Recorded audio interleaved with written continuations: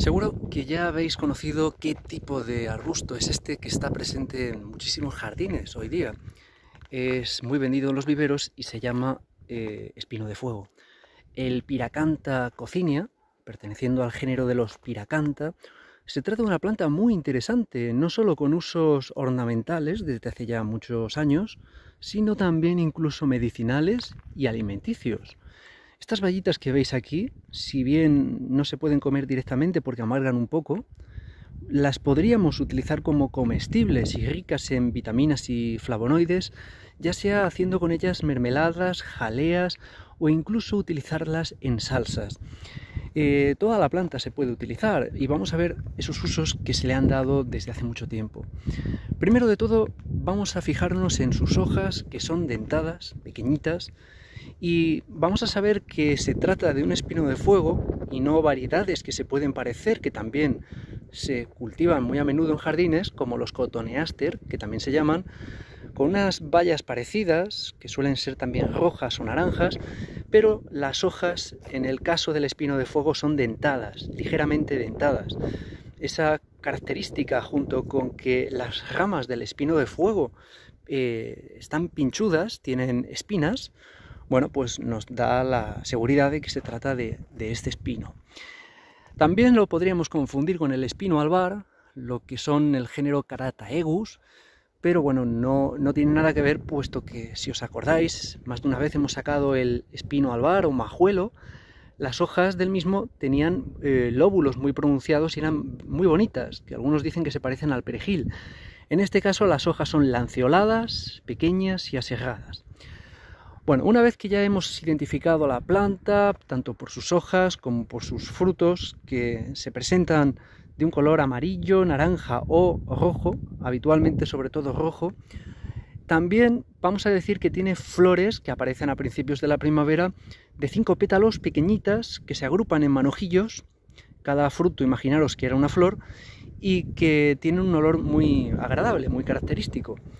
Bueno, pues esas flores las podríamos utilizar y ya vamos a hablar un poco de los usos medicinales que si bien no son tan eh, documentados como los del espino albar, pues también se sabe que tiene propiedades. Entonces esos eh, manojillos de flores se pueden utilizar como diuréticos en infusión o bien para afecciones cardíacas. Fijaos en el detalle, se parece mucho al espino albar, al espino blanco, al Carataegus, en el sentido de que también sirve para problemas cardíacos. ¿Os acordáis que el espino albar era el ansiolítico de la naturaleza? Servía para calmar la tensión sanguínea, las arritmias, los problemas en el corazón, las taquicardias y en definitiva para relajar los nervios, la ansiedad y el sistema nervioso para tomarla todo el año. Bueno, pues esta planta tiene un efecto similar, si bien como digo no está tan documentado. Ahora bien, se puede utilizar sin ningún tipo de problema y sobre todo el fruto pues lo podéis probar porque seguramente pensaríais que, es tóxico, que mucha gente lo, lo, llega a pensar, pero una vez preparado en jaleas, en mermeladas, se puede utilizar como alimento. ¿Qué más podemos decir? Bueno, eh, en crudo este fruto es astringente, por tanto lo podríamos utilizar con ese fin en un momento dado, si lo necesitamos. Eh, nada más. Eh, vamos a hablar también de por dónde crece, porque ahora mismo lo tenemos extendido por muchísimos sitios. Se utiliza como seto para, veis aquí en una parcela, hemos encontrado, bueno, pues es un ejemplar, yo creo que es uno o dos, y prácticamente está cubriendo todo, está descuidado, pero imaginaros pues bien cuidado, podado, forma unas verdaderas vallas, cercados, impenetrables, que junto con los pinchos y bueno, pues eh, lo, lo, enfoscado que está, no pueden entrar pues animales o personas incluso, puede servir como valla natural. Pero hoy día pues en los jardines se cultiva también como árbol en solitario, que puede llegar a crecer los 3 metros.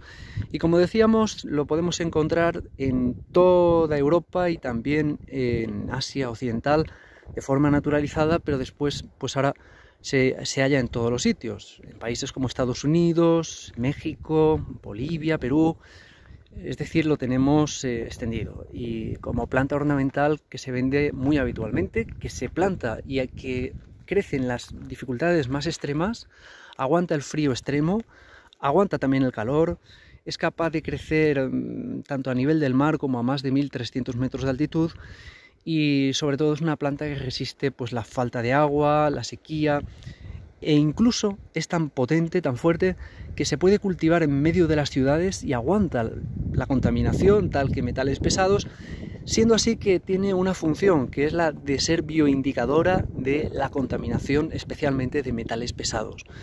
Vamos a saberlo cuando las hojas se tornen de ciertos colores, eh, bueno, pues eh, de algún modo están acumulando esos metales pesados. Podríamos decir que a lo mejor sirve también pues para depurar y limpiar suelos contaminados. Eso habría que investigarlo. Y bueno, pues el espino de fuego, el piracanta, que su propio nombre eh, viene a decirnos que significa espino de fuego, vamos a, dividirlo en dos partes. Pira sería fuego y canta, que significaría espino, el espino de fuego. El espino de fuego que eh, hoy día lo podemos cultivar con estas semillas, las cuales tendríamos que, por ejemplo, meter en el congelador y de esa manera se facilita que luego germinen o eh, añadirles un poquito de ácido sulfúrico porque la cápsula de la semilla es muy fuerte, muy dura, es un hueso tremendamente duro que por sí solo le cuesta muchísimo germinar. Más fácil sería hacerlo a través de un esqueje que podríamos, por ejemplo aquí que están cerca del suelo, enterrarlo y dejarlo pues unos meses. A los 5 o 6 meses eh, podemos regar incluso le habrán salido raíces. De esa manera nos podremos garantizar que pues podemos coger una plantita, un esqueje ya listo para sembrar.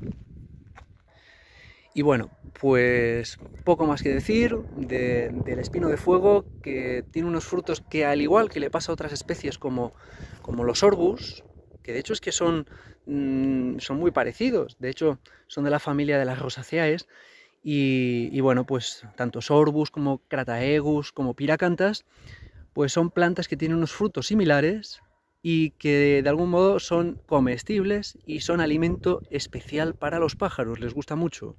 Y también para nosotros, los podemos utilizar.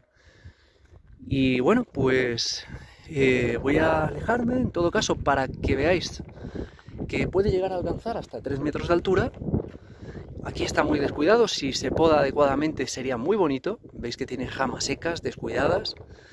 Y por último me voy a acercar y vamos a intentar ver con todo detalle tanto la hoja como el fruto. Podéis ver aquí, tiene algún tipo de enfermedad. Vamos a ver alguna hoja que se vea bien. Vamos a ver. Estas, por ejemplo. Voy a enfocarlas. Y claro, los dientes de los que hablamos son muy sutiles, Dentada, pero mm, no sé si incluso difícilmente se llegará a apreciar. Y en cuanto a los frutos, pues ahí los podéis ver. Muy bonita. Pues nada amigos, con el espino de fuego nos despedimos hasta un siguiente vídeo.